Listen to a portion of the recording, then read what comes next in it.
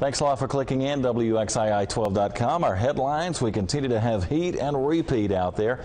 Mid 90s again today. The combination of that and high humidity will have us on the watch for maybe a few more storms this afternoon and this evening. Some of those could have some strong winds with them as they come in a little later this afternoon. And again, the timing on this afternoon would probably be after 3 or 4 o'clock. But in the mountains, maybe as early as lunchtime perhaps. Uh, temperatures about 86 in the high country, low to mid 80s in the mountains mountain areas from uh, Sparta through West Jefferson on through Ennis and Hillsville, 94 in Mount Airy, Yadkinville, on through Hamptonville and Wilkesboro, 96 here in Greensboro and on through Winston-Salem down through Kernersville, as well as Lexington, where it might see 98 in Lexington, but 96 going to be just shy of a record. It looks like it'll be near a record today.